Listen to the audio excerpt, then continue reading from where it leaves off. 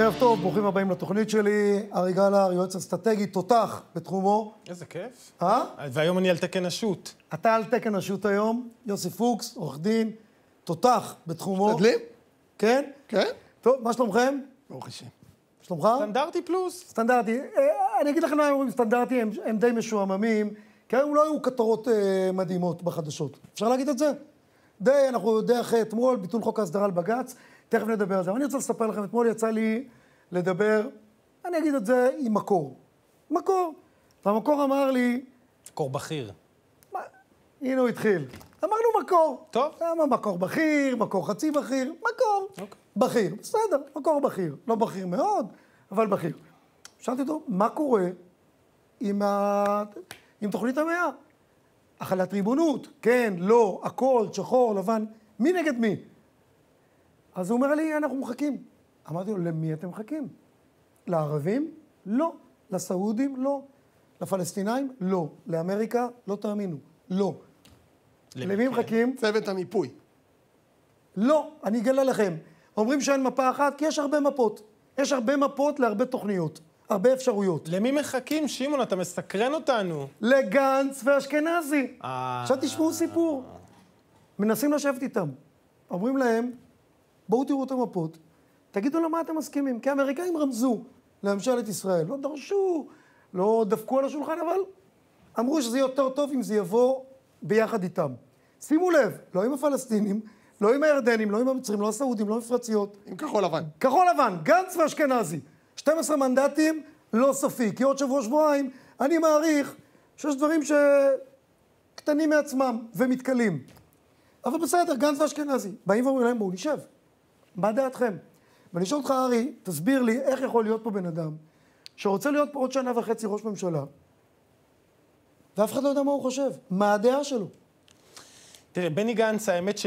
אתה יודע, בוא ניקח את זה קצת אפילו טיפה אחורה. מתחילת, ה... מהרגע שהוא נכנס לממשלה, אנחנו לא באמת אה, הבנו מה הדגלים שאיתם הוא רוצה להיחרד בזיכרון הציבורי לשנה, שנה וחצי הקרובות, לפחות עד לכניסה שלו לבלפור.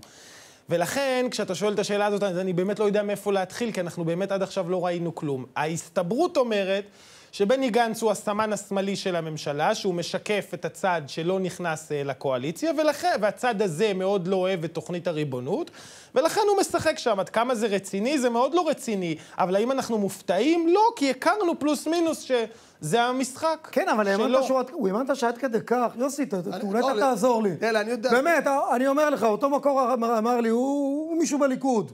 בסדר? הוא אמר לי, תשמע, ידענו לעשות אה, ממשלות עם כל מיני אנשים פוליטיים מכל מיני גוונים. הוא אומר, דבר כזה לא היה. אין על מה להתווכח, כי אין דעה. ואגב, זה לא רק בזה, אין דעה. אגב, כל אין הבחירות... דעה. אבל, שמעון, אני מתפלא... אני מתפלא אני לא- אני לא. ראיתי כזה דבר. לא, למה אני אומר את זה?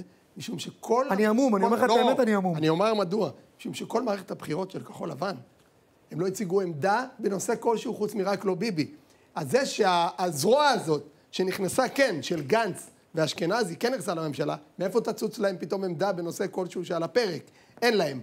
יחד עם זאת, אני מניח שהם הם, אה, הם לא הקצה השמאלי של המפה הפוליטית, ולמקומות שהם, יש אה, במיינסטרים, דעה רווחת שיהיה בכל, בכל אה, תרחיש, חלק בלתי נפרד ממדינת ישראל, הם לא יתנגדו לריבונות. ייתכן והם יתנגדו לריבונות על כל מפת ההתיישבות הישראלית, יכול להיות, אבל בהחלט כל עוד הם לא מביעים עמדה רשמית, אי אפשר להתקדם. יוסי, בכל זאת. תשמע, אני חשבתי שזה טקטיקה וטקטיקה, אסטרטגיה לבחירות. הם שותקים, כי ככה אמרו להם, אל, ת, אל תחדדו, כי כחול לבן רוצה גם קולות מהימין וגם מהשמאל וכולי. אני לא, אני לא הייתי מאמין לך אם לא הייתי רואה שנדמה לי לפני יום היה איזשהו פרסום של המפגש של ראשי מועצת יש"ע עם בני גנץ, והם שאלו אותו, אתה ראית את המפות? והוא אמר שם לא.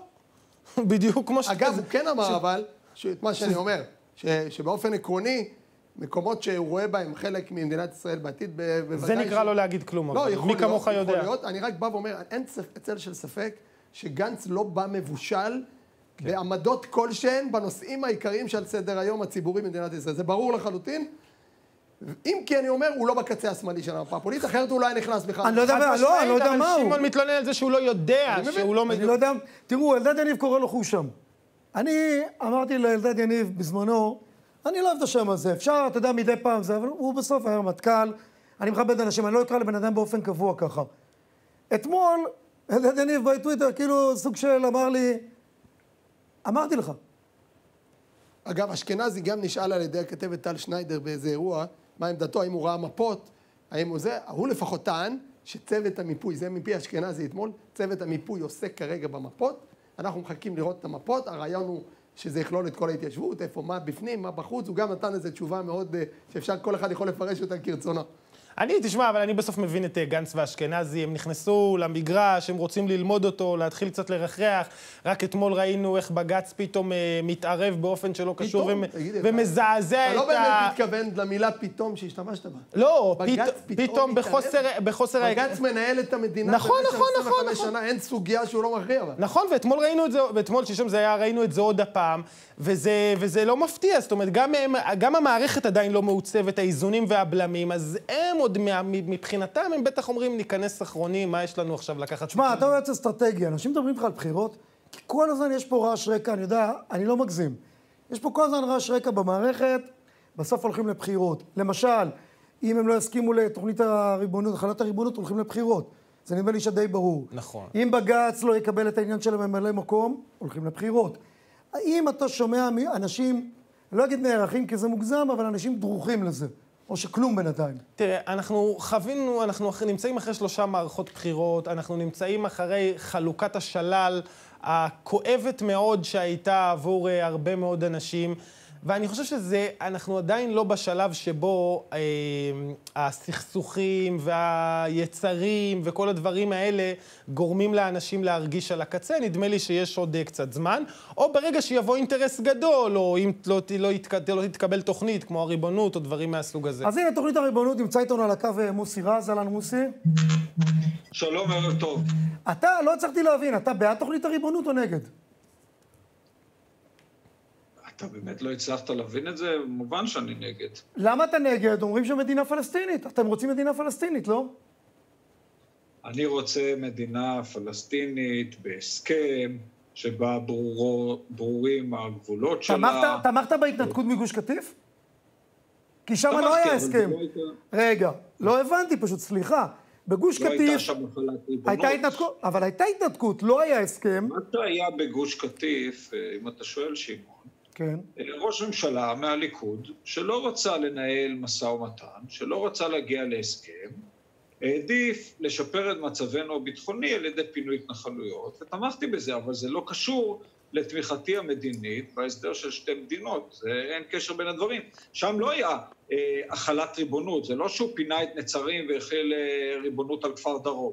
הוא פינה את הכל, אז אה, כמובן לא, לא היה מה להתנגד לזה. מוסי, אתה, אתה, מוסי, אתה בדרך כלל בן אדם שנמצא בגבול המציאות, הייתי מגדיר אותך, אם אפשר להגיד את זה. אני רוצה להחמיא לך. אתה באמת מאמין, או חושב, שמה שחסר בינינו לבין ערביי יו"ש זה משא ומתן? אחרי עשרות שנים של משא ומתן, אגב, גם מימין וגם משמאל? זה מה אתה שחסר. קולע לנקודה, אתה לא קולע לנקודה שאני אגב דיברתי עליה בעבר. אה, אני לא כל כך מתלהב ממשא ומתן. אגב, תשים לב שבעברית אין מילה לנגושיישנס. משא ומתן זה לשאת, יש לזה נטל, אה, הקשר שלילי בעברית, לשאת בנטל, לתת, תראה לי את הישראלי שאוהב לתת, ועוד הראשי תיבות זה מום. כן? אה, אה, לא, לא כל כי הערבים, לא כי הערבים מוותרים על אדמה, מה זה בכיף? אתה יודע שארד, אה. המילה בערבית של כבוד ואדמה, נדמה לי שזה מילים נרדפות. סתם שתדע. אוקיי, אבל אני לא יודע איך אומרים בערבית משא ומתן, לכן אני מדבר על עברית. negotiation, אה, יותר מזה, אני לא, מה? negotiation.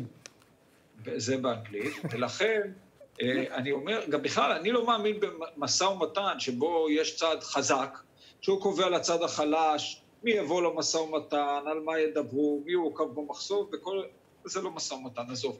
לכן, אה, אני דווקא, אתה קולע לדעתי, אני חושב שיש תוכניות על השולחן, צריך לאמץ אותן. עכשיו, אנחנו צריכים הכרעה ברורה, אני מאוד מכבד אותך, ואני יודע שאתה מעדיף את ארץ ישראל השלמה על שלום עם הפלסטינים. תאמין לי, אני מאוד מאוד מכבד אותך על זה. אני מעדיף שלום עם פלסטינים על ארץ ישראל השלמה. אין כזה דבר ולא יהיה. זה חלומות באספמיה. אם לא היה. באמת שלום, אם היה באמת שלום, היית יוצר לי דילמה על סוג לא, של יש. פשרה, למרות שבעיניי באמת אני בא מגישה שאסור להתפשר על ארץ ישראל, כן. טוב, אבל אבל תראי, מראש הטרייד שאתה מציג הוא לא נכון. ריקלין, תראה, אנחנו מכירים הרבה שנים, ואתה יודע שאני מעריך אותך, ואף פעם לא התבטאתי נגדך, אבל אתה לא, זה לא נכון מה שאתה אומר. יש את יוזמת השלום של הליגה הערבית. היא הוצגה כבר 19 פעמים, במשך 18 שנה. היא אומרת, היא אומרת אם ישראל תיסוג מגבולות 60, אה, מהשטחים שכבשה ב-67' ותמצא פתרון הוא צודק ומוסכם לשאלת הפליטים, נקיים איתה יחסי שלום. עכשיו, אתה יכול לבוא ולהגיד, התוכנית הזו לא מתאימה לי, זה בסדר, זה לגיטימי, אבל להגיד אין הצעה, זה לא דבר אה, נכון. עכשיו, אתה יודע מה אני אומר? בוא נניח שיש הצעה, כן? נניח שאתה לא מקבל את דעתי שאין הצעה, אבל נניח שיש הצעה. אתה תסכים? לא. אני חושב שאתה לא תסכים, אבל אני אומר, לא. אם זה כך, אם אתה חושב שאין פרטנר, תסמיך אותי לנהל את הדיון הזה איתם. מה אכפת לך? הרי אתה בטוח שאני לא אגיע להסכם. אתה תיתן להם הכל. מוסי, אתה תיתן להם הכל. ארי, בבקשה. מכיוון שגם הדעה של ריקלין ידועה, וגם הדעה שלך ידועה, אז אולי כדאי שתגיד מה ההצעה שלך לפלסטינים, איך אנחנו מתקדמים קונקרטית עם ההצעה שלך, מה ההצעה שאתה מביא לשולחן. אני אומר כל הזמן, אגב, כתבתי מאמר בהארץ. לא, עזוב מאמרים, מה יש פרקטי? כי אנחנו לא, אנחנו ראינו שעד היום אין שום דבר פרקטי. תקשיב לי, פרקטי מאוד ברור. אני אומר, גבולות 67 הם חילופי שטחים משמעותיים, ביחס של אחד לאחד, זה אומר לדוגמה, זה אומר לדוגמה שאתה יכול לתת להם שדה גז בים במקום, אה, במקום לומר את אה, מעלה אדומים, סתם, כן, אל ת... אה, זה שורטט ביוזמת ג'נבה מה הגבולות, אני אומר, יותר מתנחלים יישארו מאשר ביוזמת ג'נבה. מתנחלים שיישארו מחוץ לגבולות ישראל, במצב כזה... ואיך אתה יודע להעביר את זה? אבל הם לא מסכימים.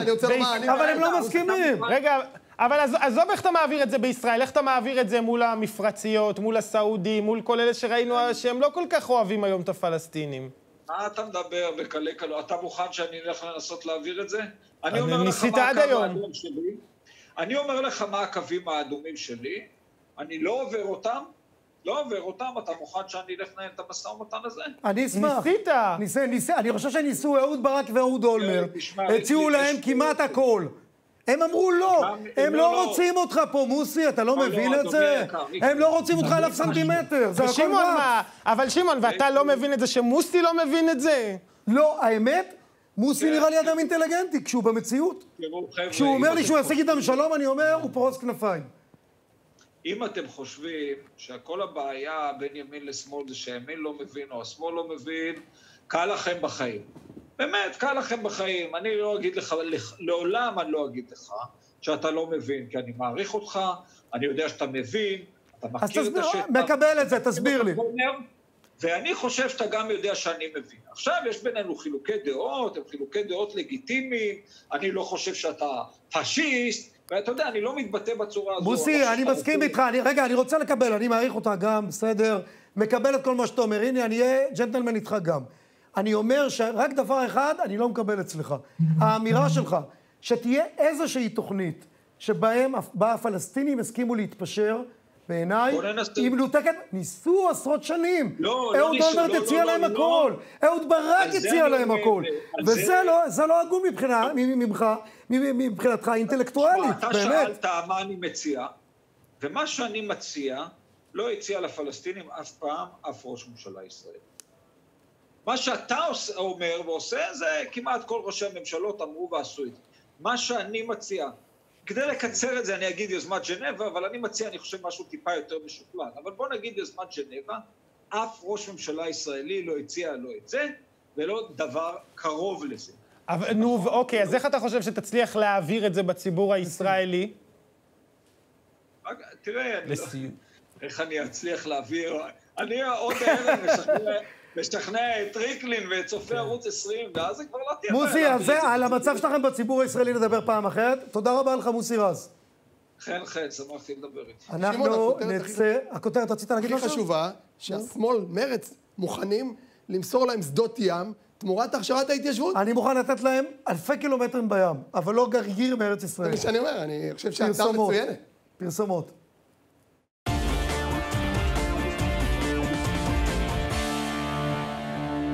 יהודה שרבני, רכז השטח של תנועת אם תרצו. אהלן, ערב טוב, סימון. מה נשמע? מה קורה? בסדר גמור, בוקר אה, מעניין ומאתגר לך יש בוקר מעניין? הבוקר. אני מרגיש שנכנסנו לעולת המלפפונים. בוא תספר מה מעניין.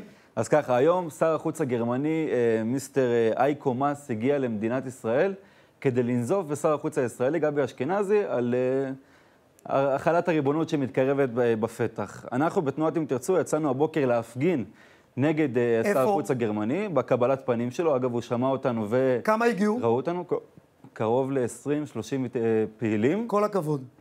כל הכבוד. לגמרי.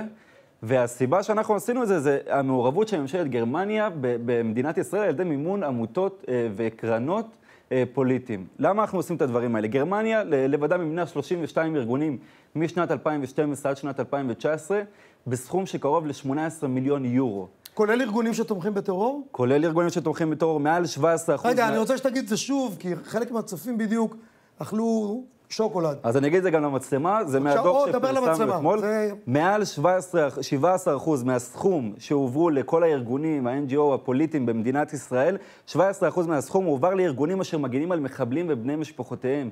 זאת אומרת... זו גרמניה. אני לא אומר חס וחלילה גרמניה, כאילו, בא לי להגיד עוד מילה, אבל... נכון. יוסי, להגיד את המילה. לא, ואתה לא, מה? זה- לא, לא גרמניה- צריך את זה. לא צריך. לא צריך. היא פרו-פלסטינית באופן רציף, וגם, ב- כמו שהוא אומר, גם ארגונים שמאמנים... תומכים במחבלים, יוסי? אז אני רוצה גם להגיד לך את המספר. מדובר במחבלים שרצחו ב- ביחד, כל המספר שלהם 71 בני אדם, 71 ישראלים. כל הארגונים האלה בא- על ידי אירופה. במה באה לידי ביטוי העזרה הזאת? למשפחות... אה, עוזרים למשפחות המחבלים, כסף. אני סתם אתן לך דוגמה, ואז אני אחזור לנושא של החלת. ריבונות.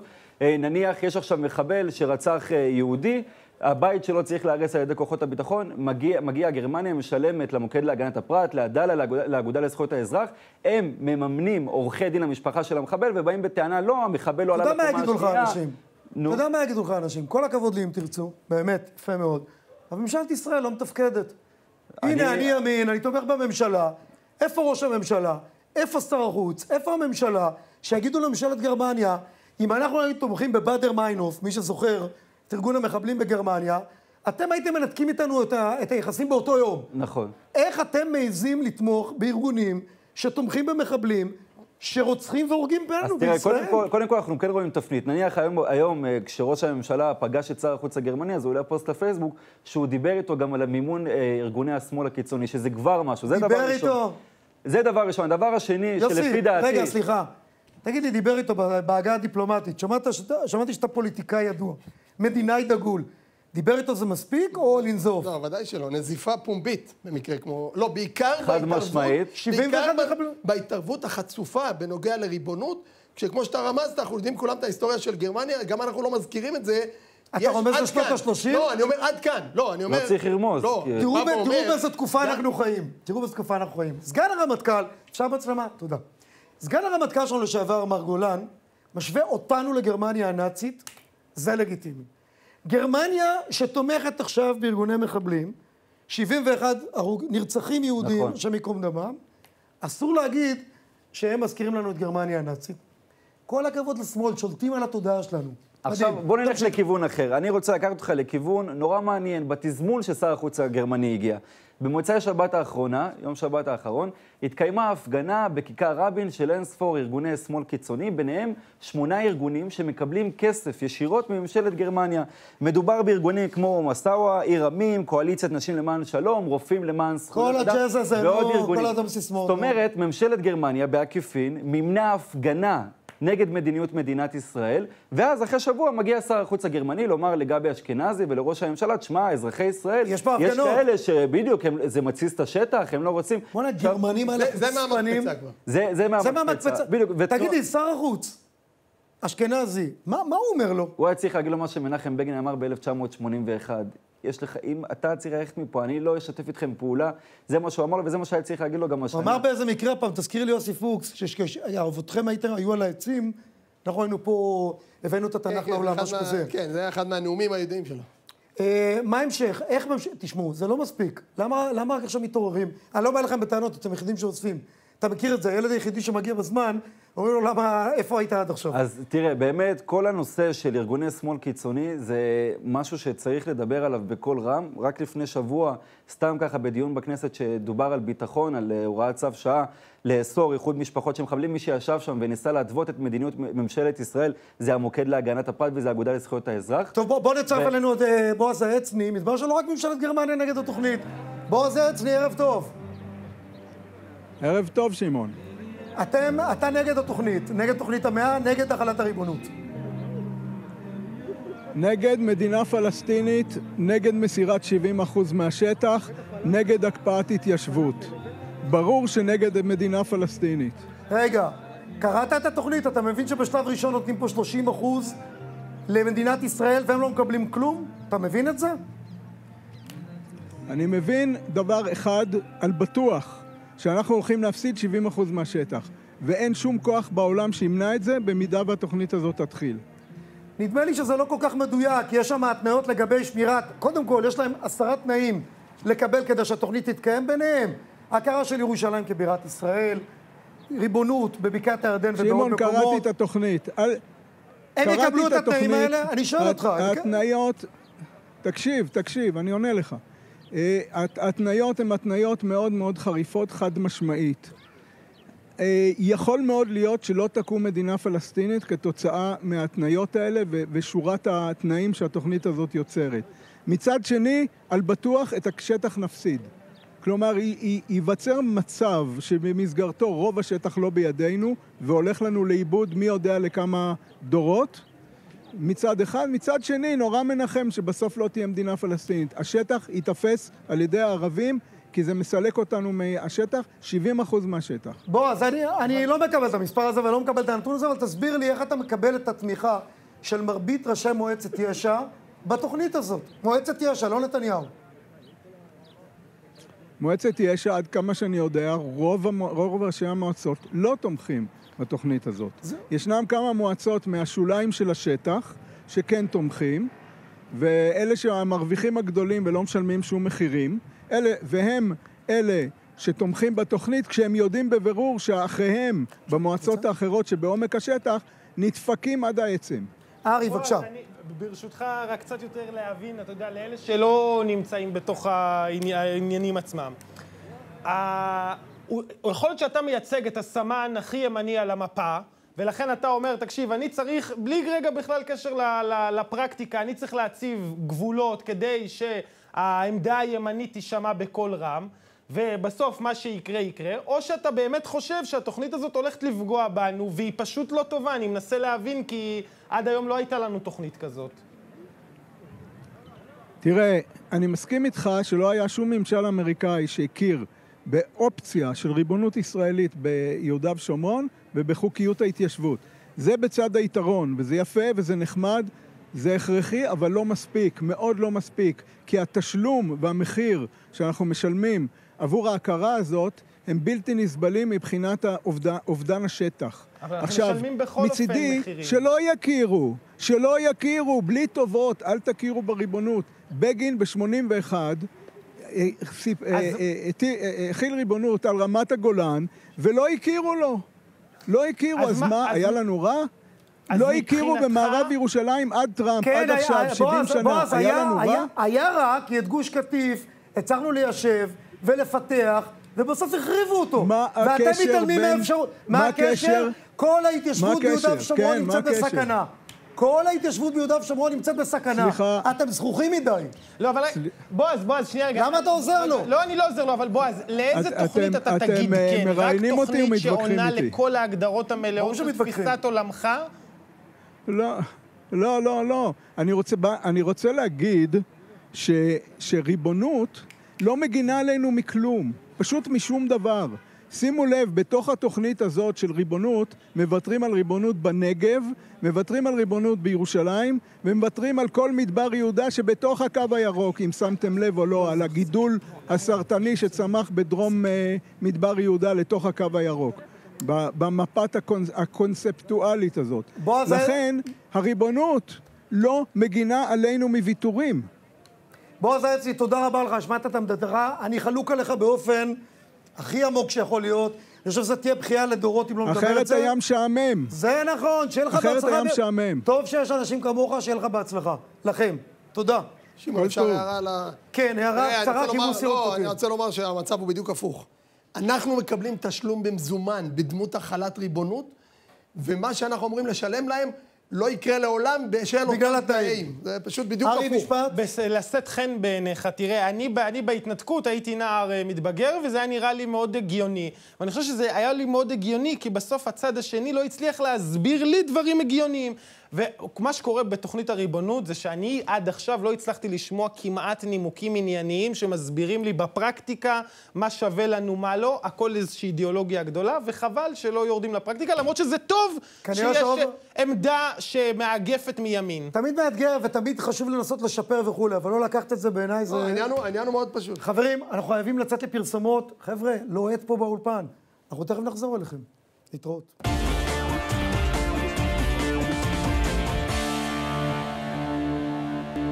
איך יודעים שהקורונה חוזרת? תראו מי המרואיין הבא שלנו. ערב טוב לרן רזניק התותח, אה, פרשן בריאות בישראל היום. זה בסדר? אה, אה, ערב טוב, ערב טוב ריקלין, מקווה ששומעים אותי טוב, ואני שמח לראות סוף סוף את זיו, את זיו פניך. הלוואי שיכלתי להגיד אותו הדבר. ואז אתה צריך להגיד לי, תעשה מה שאני אומר, מה שאני עושה, ותשקר. לא משנה. טוב. זה סתם, זה בדיחות, אתה יודע. תגיד לי, בוא נהיה רציניים כן. רגע. מה קורה עם... מה? האוטוגלידה. זה אוטוגלידה? זה בסדר, רן, אל תהיה... רן, מותר לשמוע אוטוגלידה? זה בסדר. החיים שלך. דבש. הוא גר בשכונה ותיקה. עלק, אתה פרשן, קורונה, אוטוגלידה. יפה, הבנו. טוב, לפני התוכנית של בנט, אני שואל אותך, רן, האם הקורונה חוזרת? רציני. אוקיי, הקורונה, אנחנו לא בגל שני, הקורונה, הקורונה, יש התפרצות של קורונה בישראל, התפרצות מואצת של קורונה בישראל, די צפויה בגלל פתיחת, אה, גם בגלל פתיחת אה, בתי הספר, וכמו שבאמת אמר אתמול שר הבריאות יולי אדלשטיין, הוא חושש שנגיע מהר מאוד או קרוב מאוד ל-200 מקרים חדשים ביום, אנחנו היום במצב של בין 100 ל-150 אה, מקרים חדשים ביום. אה, המצב הוא עדיין בשליטה, ואם נחזור למה שדיברנו אצלך כאן המון בחודשיים האחרונים, דרך אה, בטוחה לראות את זה היא מספר החולים הקשים והמונשמים, שלא עולים לשמחתנו בכלל, אלא רק עול, באופן כללי, עול, המספר הזה הולך ויורד. בגל הראשון דיברנו, היה אחד המדדים, דובר על כך, האם אנחנו יודעים מאיפה האנשים שנדבקו, האם אנחנו יודעים מי הסביבה שלהם. זה גם משהו שכרגע אנחנו עדיין יודעים להגיד כל אחד מאיפה הוא נדבק ואת מי הוא פוטנציאל להדביק, או שאנחנו יודעים כרגע? אנחנו, אנחנו, יודע, אנחנו יודעים ברוב המקרים את, ה, את המעגל אה, סביב האנשים שהוא פוטנציאל להידבק והם מוכנסים לבידוד. לגבי מקור ההידבקות, אני, אנחנו לא יודעים עכשיו, ואני גם לא זוכר, אה, ברשותך, שידענו את זה אה, על רוב החולים קודם. בג, ב, ב, בהידבקויות הגדולות בחודשיים האחרונים. רן, אה, תוכנית בנט, 100 אלף בדיקות ליום. כמה זה מעשי, כן. כמה זה באמת אה, אפשרי? אוקיי. אה, אני לא יודע, אני לא, אני לא חושב שזה מעשי. אה, בנט חוש... אני לא חושב שזה מעשי, אני לא חושב שזה אפשרי. מדינת ישראל אה, מתקשה לעמוד גם בעשרת אלפים, עשרים אלף הבדיקות היום. אמר אדלשטיין אתמול שהוא דורש ממשרד האוצר עוד 200 עובדים לבתי המרקחת. טוב, לבתי המרקחת אמרתי, למעבדות של קופות החולים ומשרד הבריאות, סליחה. טוב שמשרד הבריאות נזכר בזה סוף סוף, המחסור הזה היה ברור כבר קודם. בעובדים, לא רק במטושים, דיברנו על זה המון, אלא גם בעובדים. 100 אלף, נתניהו דיבר על 30 אלף בדיקות כיעד, גם זה לא קורה. 100 אלף זה יעד אה, אה, גבוה אני, מדי, רוצה, שהוא אני, לא אפשרי. רן, לא אני, אפשרי אני רוצה ואז... לתקן משהו לסיום, לשאול אותך, כי אני אגיד לך מה בכיר... מה לסיום? רק התחלנו. כן, ברור, כל, נעשה איתך את כל התוכנית. את כל, את כל הלוח. בשמחה. תשמע, אני גם מחכה שתזמין אותי לתוכנית, אבל אוקיי. זה מוסי, אתה יודע. בכיף, בשמחה. מוסי, תזמיני אותו. בוא ניקח פרטים עכשיו. אחר כך. אוקיי, עכשיו תשמע ברצינות. דיברתי כן. עם איזה בכיר, הוא אומר לי, לגבי הפער בין אנשים שעכשיו יותר פצועים קשה ומתים, לבין מספר ההידבקות העולה, הוא אמר לי את התוצאה של ההידבקות, המוגברת, אנחנו נראה נראה עוד עוד שבועיים... שבועיים, שלושה. נכון. וזו נכון, הבעיה. זה, זה כל הזמן הבעיה בקורונה, אם תרצה בכלל, במגפות. עד כדי כך זו הבעיה, אה, ברשותך, במשפט אולי אחרון, פורסם הערב מחקר ב Sky News הבריטי, שאומר שאם היו סוגרים את בריטניה שבוע קודם, מחצית מעשרות אלפי החולים שמתים שם לא היו מתים. עד כדי כך הזמנים פה קריטיים. זה לגבי סגירת המדינה, זה לא לגבי השאלה שלך. את התוצאה אנחנו נראה רק עוד שבועיים, אבל אני חושב שאנחנו עדיין ממשיכים להיות בשליטה מדינת ישראל, ואני מקווה שזה ימשיך ככה, אה, ואני מקווה גם שמשרד הבריאות ימשיך בהסברה ושתהיה הרבה יותר אכיפה, כי זה אולי קריטי למאבק בקורונה. רן רזניק, פרשן של ישראל היום, התותח, להתראות. תודה. מוסי תיקן לך פרטים, להתראות. טוב, עכשיו בואו תשמעו סיפור. לפני הרבה שנים היה פה טייקון, קראו לו פישמן. בטח זה עושה לכם משהו. הרבה אנשים סבלו כתוצאה מהקריסה שלו. פישמן אהב להמר על מטח. נדמה לי שעל הלירה הטורקית הוא הפסד מזה הרבה כסף. מקורותיי בווינה אומרים לי, אתה שומע זיו מאור, ערב טוב לך? ערב טוב. שפישמן, שהיה בקשר עם נוני מוזס, הוא זה שלימד אותו להמר על מטח. תלמיד טוב, נוני מוזס. תלמיד טוב. מה זה הימור? הימור במיליארד שקל. עכשיו, למה אכפת לנו, למה אנחנו עושים עכשיו אייטם על נוני מוזס שמהמר במיליארד שקל? כי בסוף זה הכספים של כולנו, כי בסוף יש פה איזו הפקרות שהבנקים מגבים את נוני מוזס או את פישמן. אני אתן דוגמה קטנה. בנק הפועלים שנכנס כשותף בהנהלה של ידיעות אחרונות, החליף את פישמן. החליף את פישמן, אומר גם אם נוני, מוזס יורשע וגם אם נוני מוזס יישב בכלא, הוא חייב להישאר בתפקידו כמנהל עסקי של ידיעות אחרונות. כמנהל עסקי של ידיעות אחרונות. כן. שבעיניי זה מראה כמה הבנקים פה מצפצפים על כולנו. אבל בוא תסביר לצופים, כי אתה תעשה את זה ברהיטות, מה סיפור המקרה? אוקיי, אז בואו קודם כל ניתן את, ה, את הכותרת, לפחות הכותרת שלי, אנחנו עשויים לחזות בימים האלה, בתחילת הסוף של הדבר הזה שנקרא ידיעות אחרונות. ברצינות. עד כדי כך. עד כדי כך, האירוע שקורה שם עכשיו הוא אירוע יוצא דופן. מאז ומתמיד הבעלות בידיעות אחרונות הייתה מסוכסכת בינה לבין עצמה, אבל... צריך להגיד שאנחנו יודעים את זה כתוצאה מתביעה לדין כן, של אחד הדירקטורים הסיפור, שם. נכון. בבקשה. ידיעות אחרונות אה, מוחזקת בחלקה 9% על ידי משפחת יודקובסקי. דוב יודקובסקי, זיכרונו לברכה, שהיה ממייסדי העיתון ואחר כך חצה את הקווים ועבר למעריב. המשפחה הזו ממשיכה להחזיק ב-9% והיא מסוכסכת כבר הרבה מאוד שנים משפחת מוזס, שמחזיקה נכון לעכשיו 36% מהעיתון הזה. זו, זה מערך הכוחות. ועכשיו הגישה אה, אה, משפחת יודקובסקי לבית המשפט המחוזי בתל אביב בקשה מאוד מאוד מעניינת. הבקשה המרכזית הליבתית היא להדיח את נוני מוזס מתפקידו כמנהל העסקי של העיתון, למעשה להדיח אותו מהעיתון מכמה סיבות. ראשית, העיתון התנדב לממן לנוני מוזס את ההגנה מיליונים, בחקירות נגדו, משפטית, כן. 1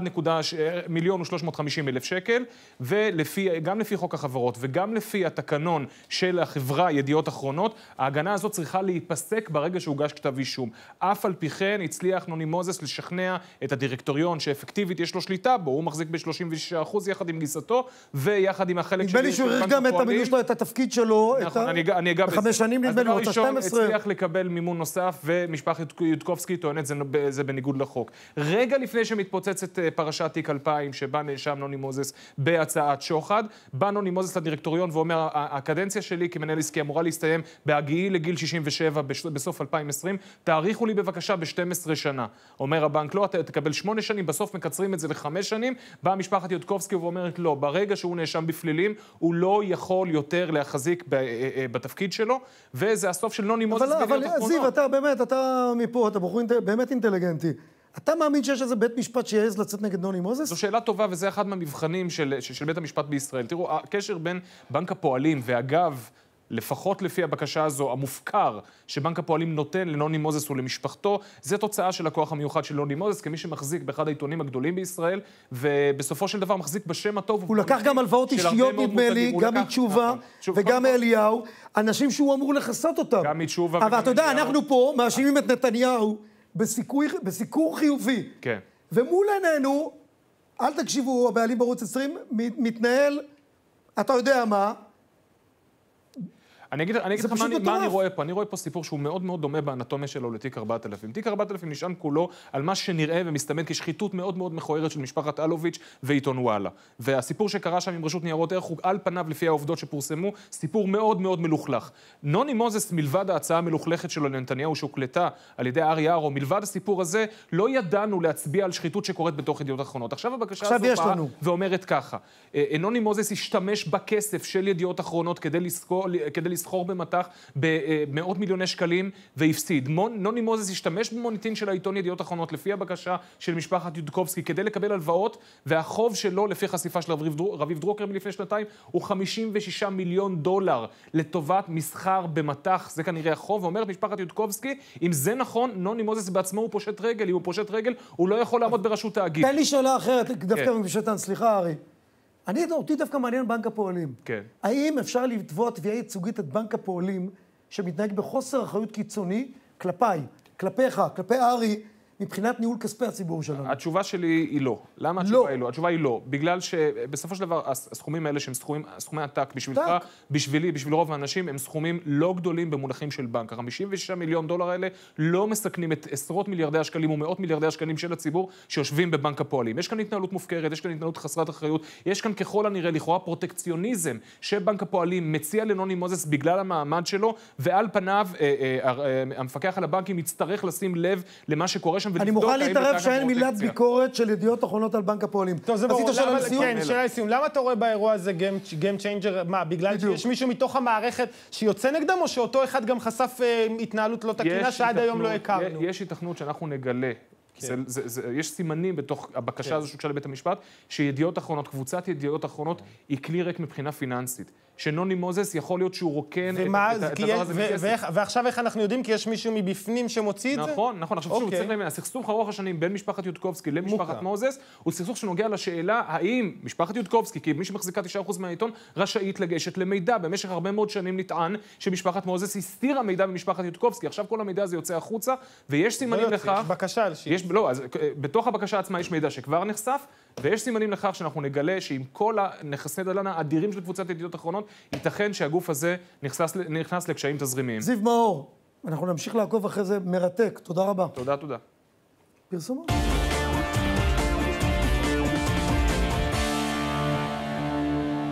ערב טוב לאריאל גרינבאום, ראש תחום יהדות ממלכתית במרכז ליבה.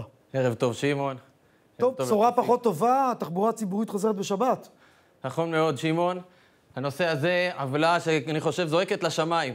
אנחנו עכשיו בתקופת הקורונה, העצמאים, אנחנו שומעים את הזעקות שלהם, את הבעיות התקציביות שכל המדינה כנראה הולכת להיכנס אליהן, ולעיריית תל אביב ולעיריות שנגררות אחריה אה, באזור גוש דן, אין מה להשקיע את הכסף שלהם, חוץ מלהמשיך ולמחוק את הזהות היהודית של המדינה.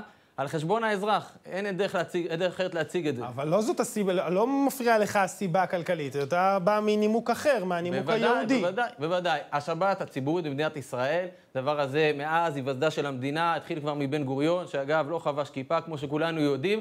תמיד זה היה הסמל של היהדות של המדינה. הגענו פה אחרי אלפיים שנה, בשביל במזרח התיכון לבנות מדינה יהודית, לא בשביל לחכות מדינות אחרות. אני אומר, עכשיו הגענו לנקודת קצה כזאת, שהמסכה מאחורי הפרויקט הזה, מה שהיה ברור לכולם, שיש פה בעצם ניסיון לקעקע את היהדות של המדינה, הגיע עכשיו לאבסורד חסר תקדים. במקום להשקיע את הכסף לרווחת התושבים, מנסים בצורה פופוליסטית למצוא חן בעיני... אבל יגידו את אותו טיעון שגם הטיעון שלך הוא טיעון פופוליסטי, כי, את- כי אתה מדבר מהמקום היהודי. אבל בוא, רק, מה אתה מצפה שיקרה עכשיו? אנחנו מצפים שה, שהפרויקט הזה ייפסק לאלתר. הוא לא ייפסק לאלתר, היה צריך להיפסק, היה צריך לא לקום, בוודאי שצריך להיפסק. אני אומר, הנקודה שאליה הגענו? הנקודה שאליה הגענו, שהדבר הזה גובר אפילו על מה שהיה נראה כאילו כאינטרס של התושב, זה רק מראה מה היה בעצם מתחילת אז הדרך. מה עושים? מה הפתרון? מה מה הדרך שלכם? אני אומר, קודם כל, ראשי העיר, הציבור, צריכים להגיד לראשי העיר שהדבר הזה הוא נוגע גם, כמו שאמרנו, היסטורית, לזהות של המדינה, וגם אחת. נוגע נגדם. שתיים. אנחנו קוראים למירי רגב, שרת התחבורה הנכנסת, רק לא מזמן אמרה, הצהירה שהשבת הציבורית במדינה חשובה, קרובה לליבה, לליבה, היא יכולה, בתיקון התקנות כשרת התחבורה, לסגור את הסיפור הזה, והדבר הזה נמצא בידיים שלה. אריאל גרינבאום, ראש תחום יהדות ממלכתית במרכז ליבה, חשוב מאוד, שיהיה בהצלחה. תודה רבה. תודה רבה. ואנחנו עוברים ל... יוני. ליוני כהנא, כן, בסדר, מנכ"ל כהנא Group. אהלן, מה נשמע? תענוג, ברוך השם, הודו להשם. חשבתי שאני אצלם אותך בתוך מטוס. הנה, בשמיים, אתה רואה מאחורה, אולי בוא נחפש מטוס ביחד.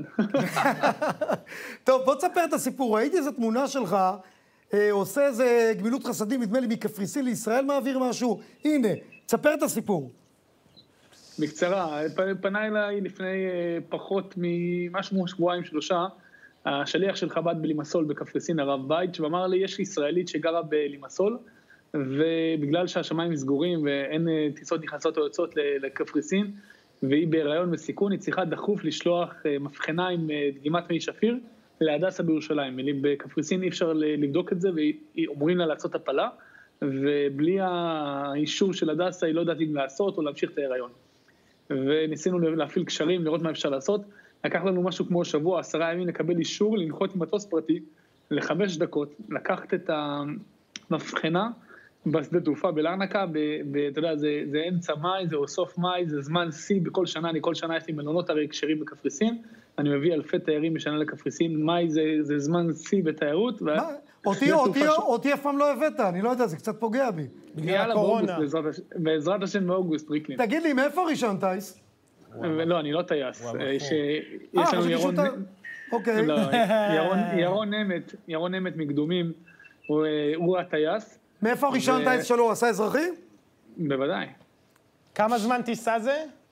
45 דקות, טסנו, אבל זה טיפה יותר ארוך, כי המראנו בהרצליה, נחתנו בחיפה, החתמנו דרכון, אה, משם 45 דקות ללרנקה, 5-6 דקות על הקרקע, קיבלנו את המבחנה, והמשכנו חזרה לחיפה, נחתנו, החתמנו דרכון, עלינו אה, חזרה להרצליה, ומשם חיכה אופנוע שלקח את המבחנה ישר להדסה, זאת אומרת מלרנק, מניקוסיה בקפריסין, מי שמכיר גיאוגרפיה, זה עיר הבירה של קפריסין, שם יש מרכז רפואי שלקחו ממנה את הדגימה של המי שפיר, עד הדסה בירושלים, עשינו את זה בסיפור של משהו כמו ברוטו שלוש וחצי שעות. תותחים, כל הכבוד. ב- תמיד בשיא הסגר. מרחיב את הלב לשמוע את זה, תודה רבה לך. ואל יוני- תשכח הזמנה לריקי. יוני כנר.